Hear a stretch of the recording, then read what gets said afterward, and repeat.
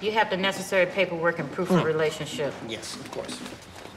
There you go. Should all be accounted for.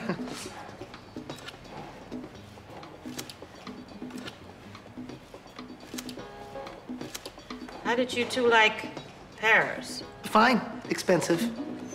And how did you two like the moon?